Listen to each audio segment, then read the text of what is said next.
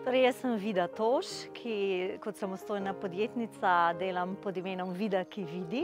Po izobrazbi sem novinarka in sem v novinarstvu delala 22 let. Ko so mi dali odpoved, pa sem se uh, napotila na Ptujski poni in sem se tam usposobila, da sem zdaj samostojna podjetnica, tekstopiska. Nikoli nisem imela neke izkušnje tega, kako preživeti kot samostojni podjetnik in poniti da neko samozavest, neko osnovo, na kateri pa rečeš, to bom pa zmogla.